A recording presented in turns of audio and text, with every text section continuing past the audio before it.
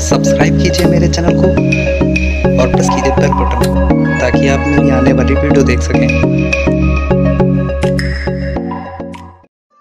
Hello friends मैं अभिजीत। आज की वीडियो में मैं आपको मिंट के प्लांट को तीन तरह से ग्रो करके दिखाने वाला हूँ और साथ ही साथ ये रिज़ल्ट भी दिखाऊँगा कि किस प्रोसेस से हमारा जो मिंट का प्लांट है वो काफ़ी अच्छे से और जल्दी से ग्रो करता है। तो वीडियो को अंत तक ज़रूर से देखिएगा। तो समर में आपको मिंट के जो कटिंग है वो आसानी से मिल जाती है। आपको किसी भी सब्ज़ी वाले के यहाँ से आपको ये मिंट का कटिंग मिल जाएगी। मिंट के प्लांट को अगर आपने एक बार अपने घर में लगा लिया तो ये आपके पास हमेशा रहेगा। जाड़ा गर्मी, बरसात चाहे कोई भी मौसम हो, ये आपके यहाँ ग्रो करता रहेगा। बस विंटर के मौसम में इनकी ग्रोथ थोड़ी सी रुक जाती है। तो चलिए अब हम इनको लगाने का आपको प्रोसेस बता देते हैं। तो हमने जो मिंट की कटिंग ली है, वो काफ़ी ज़्यादा हेल्दी है और फ्रेश है। आपको इसी तरह की फ्रेश मिंट की कटिंग्स लेनी है। हम सबसे पहले पानी में ग्रो करने के लिए आपको कटिंग को तैयार करके दिखा रहे हैं। तो आपको कुछ नीचे की जो लीव्स हैं, उनको हटा देना इस तरह से। बाकी ऊपर की लीव्स को आपको छोड़ के रखना इसी तरह से। आप देख सकते हैं, जैसे चार से पाँच इंच का अगर ये कटिंग है तो उसमें से लगभग आपको आधे से ज़्यादा नीचे की लीव्स को हटा देना है आपको। और आपको ऊपर की जितनी भी लीव्स हैं, लगभग पाँच से छः लीव्स आपको ऊपर की छोड़नी है। और इस तरह से हम कटिंग को तैयार करेंगे। इसी तरह हम बाकी कटिंग को भी तैयार कर लेते हैं। हमने वाटर में ग्रो करने के लिए कटिंग्स को रेडी कर लिया है। तो आप देख सकते हैं, हमने जितनी भी ब्रांचेस ली है, उनकी नीचे की लीव्स को हटा लिया है। और अब हम बेंड की जो कटिंग है, उसको एक बराबर लेवल पे काट लेंगे। तो देख सकते हैं, आपको इस तरह से काट लेना है। हमने वाटर में ग्रो करने के लिए कटिंग को तैयार कर लिया है और अब आपको एक ग्लास में वाटर लेना है इस तरह से।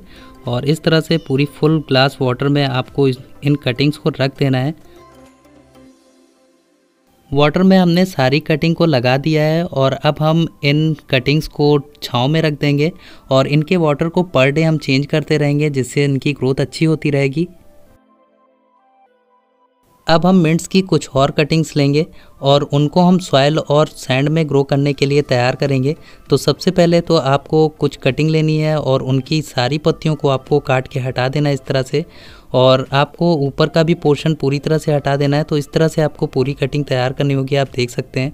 नोट वाला पोर्शन आपको बचा के रखना है, आप देख सकते हैं, इसी तरह से आपको कटिंग को तैयार करना है।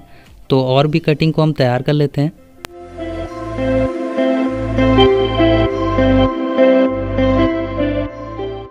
सैंड और सॉयल में ग्रो करने के लिए हमने सारी कटिंग को तैयार कर लिया है और अब हम इनके लिए डिस्पोज़ल ग्लास लेंगे। तो ये देख सकते हैं, मैंने जो डिस्पोज़ल ग्लास लिया है, इसमें मैंने नीचे की और बॉटम की और आप देख सकते हैं, कुछ होल्स किए हुए हैं, ताकि इनमें से पानी अच्छे से ड्रेन हो जाए और हमारी जो कटिंग है वो ख़राब ना हो। तो अब हम कुछ कटिंग को ले लेते हैं और इनको हम सैंड में ग्रो करते हैं। तो इस तरह से आपको कटिंग को ग्लास में रख लेना है। और ग्लास में हमें सैंड को भर देना है। तो ये देख सकते हैं, मैं मोटी दाने वाली, मोरंग वाली सैंड को ले रहा हूँ और इनको मैं इन, इस पॉट में फिल कर रहा हूँ।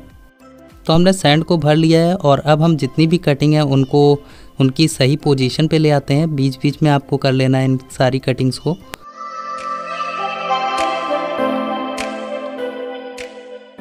तो ये हमारा दूसरा प्रोसेस कंप्लीट हो चुका है और अब हम कुछ बची हुई कटिंग्स को लेंगे और उनको सॉइल में ग्रो करेंगे। ग्लास में हमें मिट्टी को भर लेना है। मिट्टी में हमने 30 परसेंट गोबर की खाद और 70 परसेंट सॉयल वाला पॉटिंग मिक्स लिया है। और अब हम मिंट की कटिंग्स को इस तरह से ग्लास में रख देंगे। नीचे मिट्टी भरने के बाद आपको इस तरह से कटिंग को रख देना है। और फिर इनके चारों ओर अब हम मिट्टी को फिलअप कर देंगे।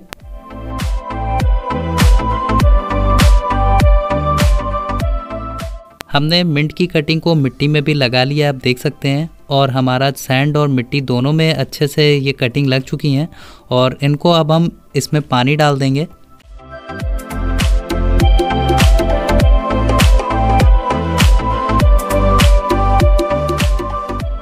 हमने मिट्टी में और सैंड में कटिंग को लगा लिया है तो अब देख सकते हैं हमने तीनों प्रोसेस से कटिंग को लगा लिया है। ये हमारा वाटर में लगी हुई कटिंग है जिनको हमने कटिंग से ग्रो करने के लिए लगाया है।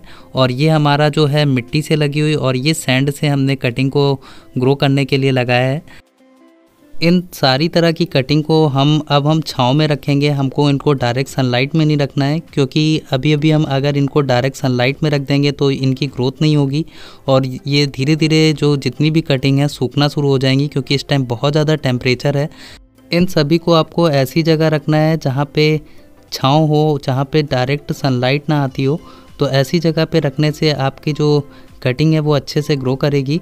तो जो भी हमने कटिंग को सैंड और मिट्टी में लगाया है तो उनको हमको इस तरह पन्नी से कवर कर देना है। ताकि इनके अंदर मॉइस्चर बना रहे और हमारी जो कटिंग है वो ड्राई ना हो पाए और अच्छे से ग्रो करें तो ये काम इसलिए आपको करना है। तो हम दोनों ही कटिंग को जो हमने सॉइल में लगाया और सैंड में लगाया, इनको दोनों को इसी तरह करके रख देना है। मैंने जैसे आपको सैंड वाले को रख के दिखाया है। आपको वाटर वाले को ढकने की ज़रूरत नहीं है। हमारी सारी कटिंग को लगाए आज आठ दिन हो चुके हैं और अब हम देखेंगे कि इनमें क्या क्या प्रोग्रेस हुआ है, कितनी ये ग्रो हुई हैं। तो सबसे पहले हम इनकी पॉलीथीन हटा लेते हैं।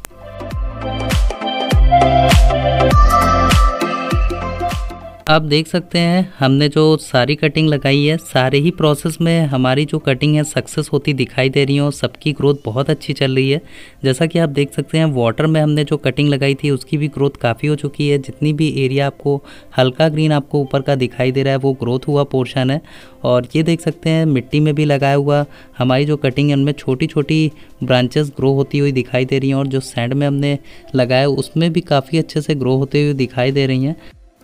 इन कटिंग्स में जब आपको न्यू ब्रांच ग्रो होते हुए दिखाई दें तो आप इनको हल्के सनलाइट वाले एरिया में रख सकते हैं, जहाँ पे थोड़ी सी सनलाइट आती हो, ज़्यादा डायरेक्टली इनको सनलाइट ना मिले।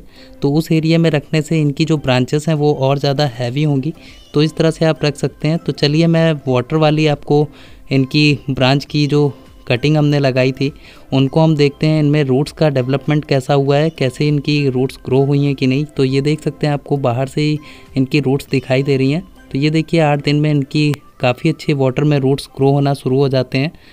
आपको ध्यान रखना है कि जिस भी पॉट या ग्लास में आप इनको वाटर में ग्रो कर रहे हैं तो उनमें आपको वाटर की कमी नहीं होने देनी है, क्योंकि वाटर की कमी होगी तो इनकी जो न्यू लीव्स और रूट्स ग्रो हो रही हैं, वो ग्रो नहीं होंगी। अब आपको मैं मिट्टी में लगाए हुए कटिंग्स को पास से दिखाना चाहता हूँ तो ये देख सकते हैं आप, इनको मैं पास से दिखाऊँ। तो इनकी आपको बहुत अच्छी ग्रोथ दिखाई दे रही होगी, ये देख सकते हैं। इसमें न्यू ब्रांचेस बहुत अच्छे से ग्रो हो रही हैं। और अगर आप साइड से इनको देखेंगे तो आपको बहुत सारी रूट्स भी ग्रो होती हुए हल्की हल्की दिखाई देंगी, लेकिन रूट्स अभी बहुत ज़्यादा छोटी हैं और बहुत अच्छे से ये प्लांट ग्रो कर रहा है सॉइल में भी। तो आप देख सकते हैं, इनमें अंदर की ओर आपको छोटी छोटी रूट्स बहुत ज़्यादा छोटी सी आपको दिखाई देंगी। और कुछ रूट्स को मैं ऊपर से भी दिखाऊँ तो आपको दिखाई देंगी। ये देख सकते हैं, ऊपर भी आपको रूट्स आती हुई दिखाई दे रही हैं। तो हमारा जो सॉइल है, उसमें भी बहुत अच्छे से हमारे जो कटिंग है, वो ग्रो हो रही हैं। तो अब मैं आपको सैंड में लगाई हुई कटिंग को पास से दिखाता हूँ। ये देख सकते हैं सैंड में लगाई हुई हमारी कटिंग बहुत अच्छे से ग्रो हो रही है और इनमें भी बहुत अच्छी अच्छी न्यू ब्रांचेस ग्रो होना शुरू हो गई हैं। और काफ़ी हेल्दी ब्रांचेस हैं। ये देखिए, एक ब्रांच है जो टूट चुकी है। बाकी हमारी ब्रांचेस बहुत अच्छे से ग्रो होती जा रही हैं और देख सकते हैं, इसमें भी रूट्स बहुत अच्छे से ग्रो हो रही है। आप देखें तो आपको छोटी सी रूट्स ऊपर भी दिखाई दे रही है।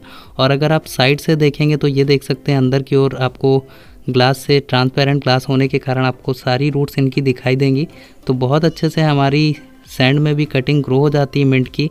और आठ दिन में आपको प्लांट में इस तरह से न्यू न्यू आपको ब्रांचेस ग्रो होती ही दिखाई दे रही हैं। हमने जिस पॉट में तीनों मीडियम में अलग अलग तरीके से कटिंग को लगा रखा है तो इन्हें आपको रेगुलर पानी देते रहना है, क्योंकि पॉट में किसी भी तरह से ड्राइनेस नहीं होना चाहिए। ड्राइनेस होने से आपका जो कटिंग है, वो ड्राई होना शुरू हो जाएगी तो इस बात का आपको ध्यान रखना है। रेगुलर पानी देते रहिए और वाटर वाले में रेगुलर वाटर चेंज करना है आपको। और जो पुरानी पत्तियाँ हैं, वो पीली पड़ रही हैं तो उन पत्तियों को आपको सभी को हटा के अलग कर देना है ताकि इनमें ग्रोथ अच्छे से हो सके। जो एनर्जी है, वो पीली पत्तियों पे ना जाकर हमारे प्लांट पे लगती रहे और हमारे प्लांट हेल्दी बने रहें। अब हम इन कटिंग्स को किसी भी चीज़ से ढकेंगे नहीं, अब इनकी ग्रोथ शुरू हो गई है। तो अब हम इनको छाँव वाली जगह पे रखेंगे बस और फिर कुछ दिन बाद फिर से हम देखते हैं क्या इनमें प्रोग्रेस हुआ। कटिंग्स को लगाए आज 18 दिन हो चुके हैं और आप देख सकते हैं हमारे जो मिंट्स की सारी कटिंग है वो बहुत अच्छे से ग्रो कर रही हैं। और ये देख सकते हैं आप, वाटर में जो हमने कटिंग लगाई है वो बहुत अच्छे से वो भी ग्रो हो चुकी है और उनके आप लेंथ देख सकते हैं, काफ़ी ज़्यादा लंबे हो चुके हैं। सॉयल में लगाई हुई मिंट की कटिंग की ग्रोथ बहुत अच्छी हो रही है, आप देख सकते हैं। और ये जो हमने सैंड में लगाया है, उनकी भी कटिंग बहुत अच्छे से ग्रोथ हो रही है। तो आप देख सकते हैं, हमारे जो सारे ही मीडियम है, जिसमें हमने इनको लगाया है कटिंग को सारे ही अच्छे से ग्रो कर रहे हैं। इसका मतलब है कि हमारे जो मिंट की कटिंग है, वो किसी भी मीडियम में ग्रो हो सकती है। अगर आप वाटर में ग्रो करते हैं, तब भी ग्रो हो जाएगी काफ़ी जल्दी और मिट्टी में भी काफ़ी अच्छे से ग्रो होगी। और अगर आप सैंड में इनको ग्रो करें, तब भी बहुत अच्छे से ग्रो करेगी। तो अब मैं इनके सारे मीडियम में से आपको दिखाता हूँ कि किसमें सबसे ज़्यादा अच्छी रूटिंग हुई है और कितने अच्छे से ये जल्दी से ग्रो हुआ है। तो ये हमारा पहला जो वाटर में लगाया हुआ हमारा कटिंग है, आप देख सकते हैं, हमने लगाया था। इनकी आप देख सकते हैं, लेंथ काफ़ी ज़्यादा बड़ी हो चुकी है, हमारे जो मिंट के प्लांट हैं। वाटर में ग्रो होने के बाद जब इनकी रूट्स काफ़ी बड़ी इस तरह की दिखने लगे तो अगर आप इनके ये जितनी भी कटिंग है अलग अलग जगहों पे इनके प्लांट को लगा सकते हैं तो ये हमको बहुत सारे प्लांट मिल गए हैं। और इस तरह से आप अपने किसी भी पॉट में बहुत सारे प्लांट को लगा के बहुत सारी मिंट के पौधे तैयार कर सकते हैं और बहुत ज़्यादा आपको मिंट मिल जाएगा।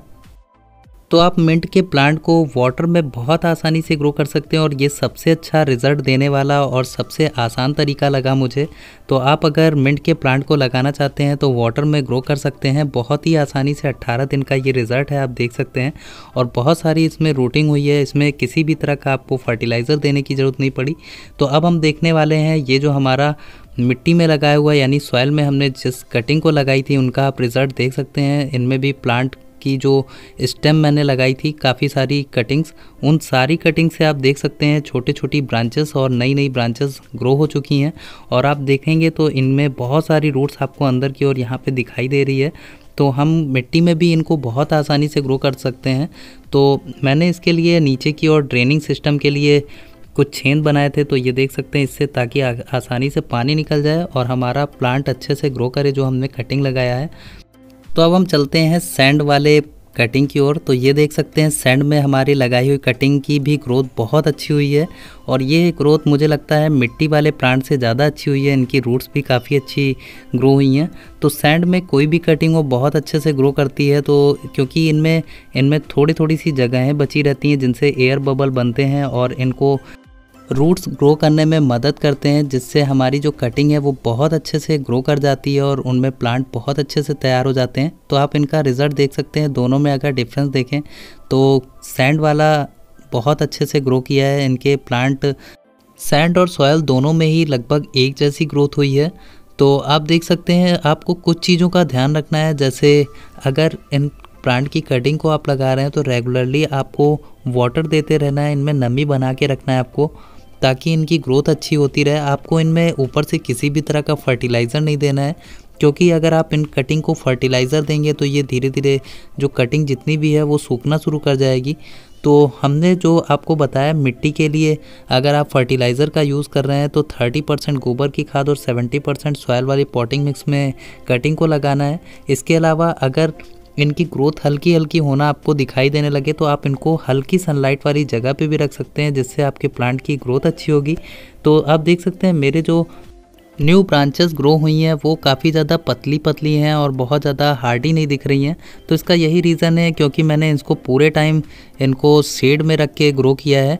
अगर इनकी थोड़ी सी भी ग्रोथ आपको दिखाई देने लगे तो आप इनको हल्की सी धूप वाली जगह पे रख सकते हैं, जिससे इनके प्लांट जो हैं थोड़े से हार्डी आपको दिखने लगेंगे और थोड़ा हेल्दी दिखने लगेंगे।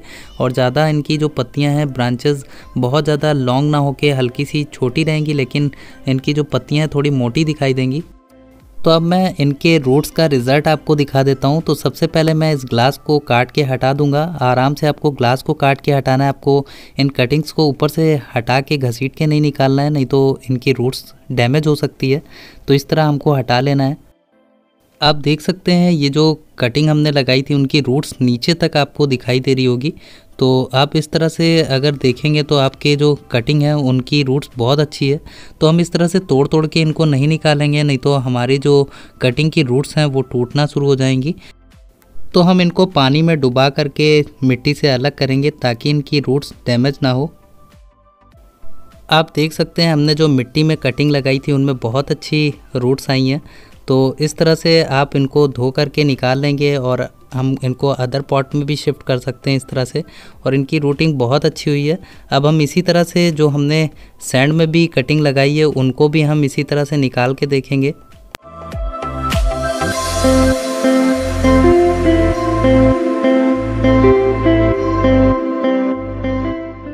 आप देख सकते हैं सैंड में भी इनकी रूटिंग काफ़ी अच्छी हुई है। अब इनको हम धुल लेते हैं।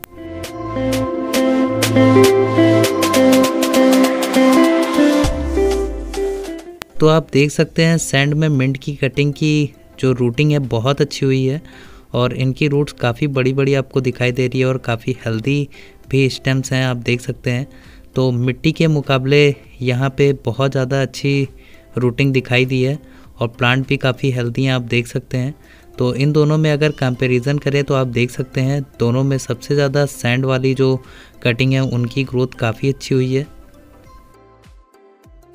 अब मैं आपको एक साथ तीनों का रिज़ल्ट दिखाना चाहता हूँ। तो ये देख सकते हैं आप, ये वाटर में हमने ग्रो किया था और उसका रिज़ल्ट मुझे सबसे ज़्यादा अच्छा लगा क्योंकि इसकी रूटिंग बहुत ज़्यादा अच्छी हुई है और जो हमारा प्लांट है वो भी काफ़ी ज़्यादा बड़ा हुआ अच्छे से आप देख सकते हैं, जितना भी लाइट ग्रीन पोर्शन है। वो जब मैंने वाटर में रखा था, उसके बाद ग्रो होने वाला पोर्शन है और ये वाला आप देख सकते हैं, ये हमने मिट्टी में ग्रो किया था तो इसकी रूट्स उतनी ज़्यादा ग्रो नहीं हो पाई हैं, जितना ज़्यादा वाटर में ग्रो हुई हैं, इसकी आप देख सकते हैं, और आप ये देख सकते हैं, सैंड में भी काफ़ी अच्छा रिज़ल्ट मिला है, इसकी भी रूट्स काफ़ी हेल्दी रूट्स हैं बड़ी बड़ी और मोटी रूट्स हैं। तो ये आप देख सकते हैं, कुछ मैंने मिंट्स के कटिंग को डायरेक्ट सनलाइट में ग्रो किया था आठ दिन के बाद, और उसकी रूटिंग काफ़ी ज़्यादा अच्छी हुई है। आप देख सकते हैं, ऊपर से भी आपको दिखाई देगी इनकी रूटिंग, और इनकी जो पत्तियाँ हैं वो भी काफ़ी ज़्यादा हार्ड और काफ़ी ज़्यादा स्ट्रॉन्ग दिखाई दे रही होंगी। तो मिंट्स के प्लांट को बहुत आसानी से ग्रो कर सकते हैं और वाटर का रिज़ल्ट सबसे अच्छा मिला है। तो चलिए अब हम अपने प्लांट को रिपोर्ट कर लेते हैं। रिपोर्ट करने के लिए 30 परसेंट गोबर की खाद 70 परसेंट सॉयल वाले पॉटिंग मिक्स में आपको इनको रिपोर्ट कर लेना है। रिपोर्ट करने के बाद आपको इनको लगभग पाँच से छः दिन छाँव में रखना होगा, फिर इनको डायरेक्ट सनलाइट में रख देना है। तो ये था मिंट को ग्रो करने का प्रोसेस। वीडियो अच्छा लगा तो लाइक कीजिएगा। आज के लिए इतना ही। Take care and bye bye